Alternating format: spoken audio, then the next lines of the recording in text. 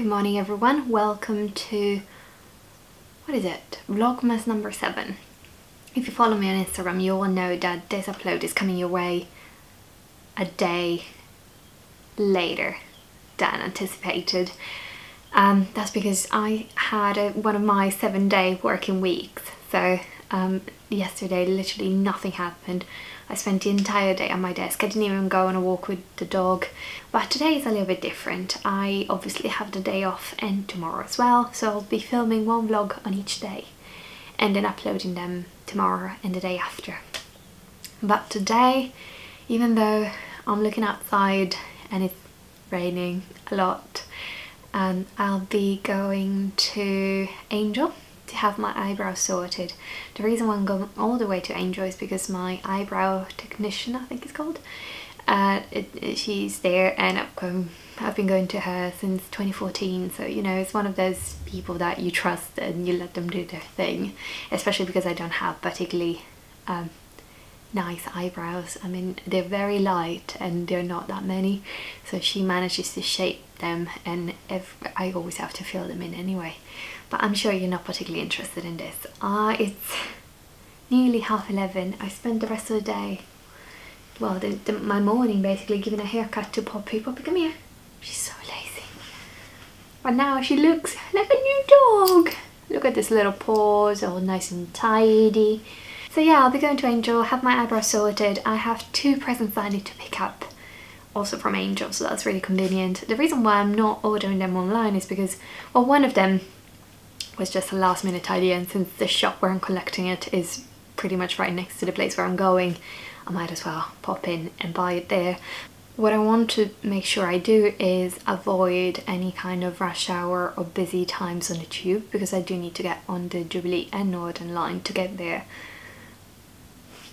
But I think it should be fine. If I sort of use the lunchtime times to do that, it should be absolutely fine and should be fairly safe in terms of how the eyebrow situation is going to be done last time I went it was in summertime so it, they had just sort of reopened no right after summertime they had just reopened for eyebrows and all that.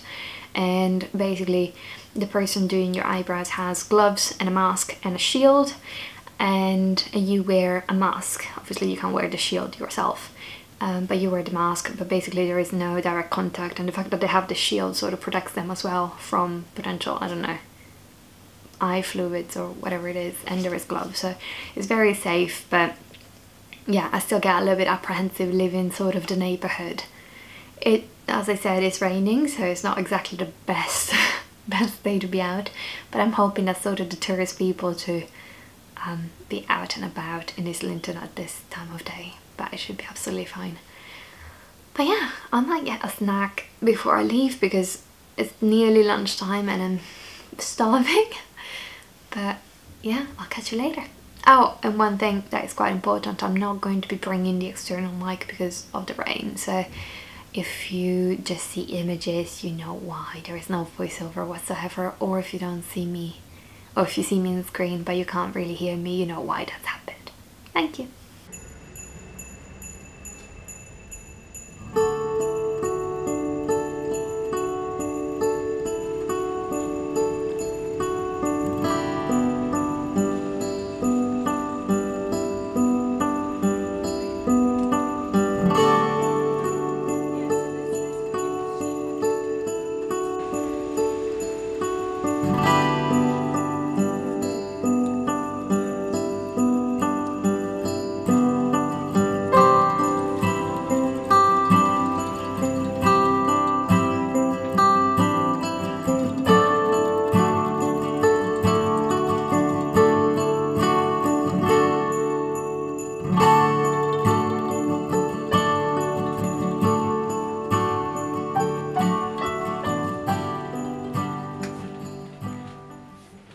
Afternoon everyone. It looks much later but it's actually not, it's just raining yet again. I'm back home. Actually I didn't spend that much time outside um, because of what I'm about to tell you. So first of all, um, just as I was coming home, London, well it was announced that London is going into tier 3 from Wednesday, which is in two days. Part of me, I have contrasting feelings about this. I'm really happy in a way that we're trying to do more to sort of tackle the pandemic. On the other hand, what I've seen today has really put me in a really bad, sad mood. And I feel like maybe if I share it, if I vocalize what I'm feeling, I might feel a little bit better. And hopefully somebody else who's feeling the same way might feel like they're not alone. But yeah, as I mentioned, I went to my usual salon to have my eyebrows done. And as usual they're really like they had gloves and masks and a face shield and customers have to wear masks. And honestly eyebrow threading takes less than five minutes so it was all done and dusted. And then I I went to run those two errands that I had to run. So buying those two little things that I couldn't get online. The only reason why I actually bought them is because I was right there. Otherwise I wouldn't have gone specifically to buy those things. But since I was already literally on the same block, I decided to buy them. but the thing is, I wear a mask because I want to protect myself and other people. But the fact that I wear a mask has very little value if I am the only one doing that. But I was generally, in many cases, the only person in shops to wear masks or on the tube to wear a mask. And this is something that generally upsets me because it makes me it really makes me realize that people are not taking this seriously. And with so many people dying, so many people in hospital, and everything that we've gone through for the past nine, ten months, how can we, how can we still take this lightly? I don't understand. It is quite disheartening to see how lightly some people are taking this. Obviously, I'm not saying that everybody has to wear a mask, because I know some people, especially, you know, with certain kind of disabilities might not be able to but that is probably usually I would say is probably a tiny fraction of the population you cannot tell me that everybody who was on the tube with me today who was not wearing a mask had some form of condition that prevented them from wearing a face mask because then I'd be really surprised. Yeah I won't I won't be doing that anytime soon again. I spent as little time as possible outside and I was really careful. And it was quite nice to just be outside the four walls and be away from my neighborhood and I feel like one of the key reasons why I decided that I needed to do this is because I really needed to make myself feel a little bit better physically and mentally and sort of de detaching myself from the everyday life and treating myself to having eyebrows that are in a better shape. That sort of helped. But yeah mentally today really not a good day. I hope you're doing better but um, if you're also sort of going through something like this in terms of struggling to see how we're gonna come out of this coronavirus thing share your thoughts because I think it probably helps to know that there is more than one person that feels the same way as you. But yeah, so sorry, this got really dark and emotional. Um, I haven't cried, so that's thumbs up. Plans for the afternoon, uh, absolutely zero other than sort of soothing my broken heart.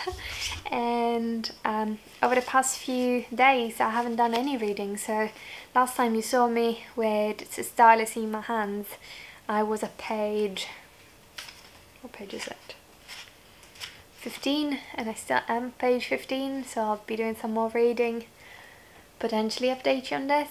But yeah I'm I'm going to take it slow now to sort of try regain a little bit of composure inside try see the positives of the fact that we're healthy, we're safe, and at least the two of us are fine. But it's hard when when you see it's hard when you see certain things. It's hard when you see people clearly not taking it seriously. Yeah, it's really hard. It's hard knowing that I will not be able to see my family this Christmas for the first time in 28 years.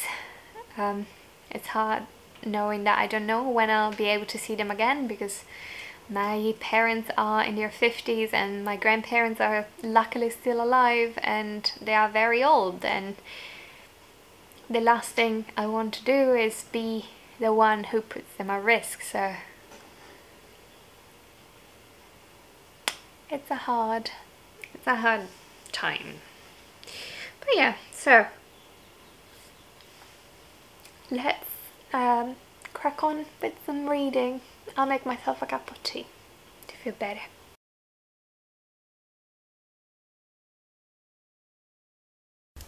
Right, I've calmed down a little bit, not completely. Cup of coffee, no, sorry, cup of tea, book, and to make sure I don't stray away from reading, got Kira Foster's Read With Me, the Christmassy edition that she filmed a couple of days ago, or at least she uploaded a couple of days ago.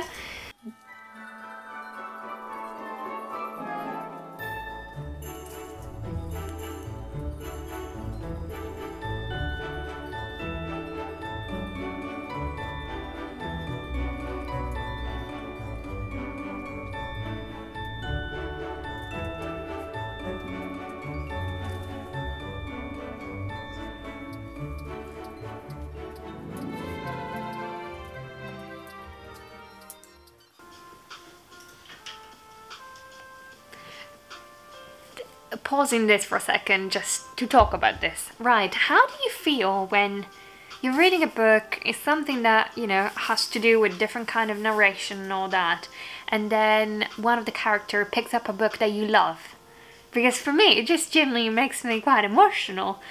Like, I'm on page 17, so I'm not spoiling anything, but the this guy, who I suppose is going to play quite a big role because we're focusing on him, and I think he's probably the same guy that was a kid um, that I mentioned in a couple of vlogs ago uh, that sort of sees this graffiti on the wall and is tempted to touch it but then doesn't and all that.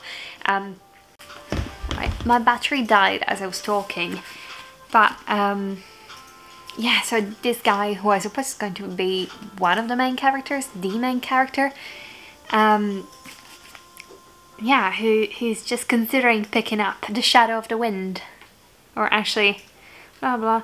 No, actually, he's read The Shadow of the Wind, which um, I actually read. Was it in Spanish the first time I read it, or in Italian? I can't remember, but anyway, is is one of those books I generally really really loved when I was younger, and I still to this day I can't remember the entire plot, and it's just such a nice story. But yeah, I thought I'd mention that. But let's get back to reading.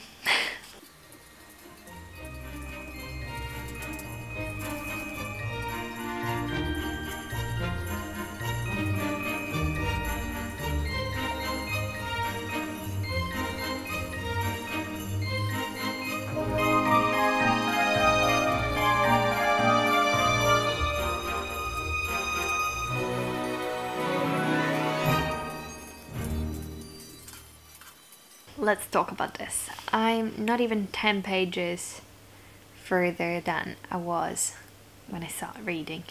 I haven't read that much, less than 15 minutes. But the story took an unexpected turn. So, as I mentioned, we're now in 2015. There is this guy who I think is probably going to be one of the protagonists, if not the one protagonist. And as I mentioned before, I thought he was sort of like the older version of the kid that we see in the previous chapter. He agrees with me because he finds this book that doesn't have any author or title, he finds it in his university library, picks it up, curious to discover more about the book, and turns out the book that he's reading is the same book that I've read up until this chapter that just started. So he's basically read about himself. And I don't know how it's going to continue, but boy, like this, this is a really nice premise for a book. And we're just, what, 23? 23 pages in. So, still very early on. We know that the book is called Sweet Sorrows, but that's as far as everything goes. We don't have an author, we don't have a plot, we don't have a book binding or anything like that. I'm into this so much. And in terms of narration, so very different from the Night Circus in terms of the topics discussed and all that. But the atmospheric writing that Erin Morgenstern is known for when it comes to the Night Circus, I can definitely see that in the Starless Sea as well.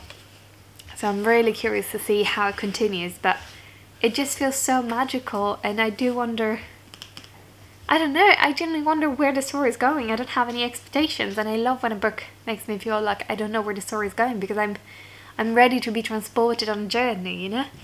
So I'll, I'll, uh, I'll keep reading. It's four o'clock, so plenty more time. I think I'm going to wrap this vlog here actually because not much is happening. I feel a little bit better. I feel like having a little cry definitely helped in terms of restoring a normal piece of emotions. Um, I don't feel good yet. I don't think I'll feel good for a very long time just because it's impossible to feel, feel good when you know that people are dying mm -hmm. and there's very little we can do at this stage but hope is the last thing to die. That's what we say in Italian. So I think I'll keep my hopes up in terms of you know thinking of a better future. But for today we'll take the little wins. The little win for today was that I left the house and I was fine. And I was safe and I didn't put myself in dangerous situations. I kept my distance, I didn't come into contact with anybody else, managed to get my eyebrows done, which was the whole point of the entire day, and hopefully I'll manage to show you a little bit of Islington. Um, other than that, I'll continue reading The Starless Sea. I might treat myself to a bath, but there is no point to, in me showing you the bath because I don't have any fancy bath bombs or anything like that. I haven't gone to Lush in a year probably. So yeah, this is the end of my Vlogmas number 7, if I'm not wrong. Tomorrow there is going to be another video, so as you watch this, you know that within 24 hours there is going to be a second one. I don't know precisely what's going to happen tomorrow. The one thing I know is that luckily we were able to book the winter vet appointment. It's just a checkup and she needs to have one more vaccine um, for this little, come here, come here, join me, join me, join me, you're so beautiful. Um, she's going to have a vet checkup tomorrow and her little kennel cough vaccine, which she didn't manage to do uh, in summertime when she was due the vaccine because of the coronavirus pandemic and I think there was some sort of link between the spread of coronavirus and the dog having the vaccine. not sure what the link is but they told me that because the coronavirus pandemic was at that stage they couldn't do it but now um, the kennel cough is coming back for dogs worse and I know a few dogs around here have actually had it. Um, so I think she's going to be able to get it tomorrow. But yeah so we've got that in the afternoon. Um, it's not far away it's just a bus ride away and that takes about 15 minutes at most. Um, but she loves going to the vet. Right Pop so we're gonna go to the vet do you want to go to the vet Oh, I might take the camera just to show you something a little bit different. I won't show you the vet building or anything like that, but there is a nice little park nearby in Dulwich, right? Right? Well, yeah, that's it for us. That's it for today. Poppy, let's say goodbye. Goodbye. Goodbye. Thank you for watching. But oh, okay, okay, let's wrap. Okay, thank you. Bye, thank you for watching.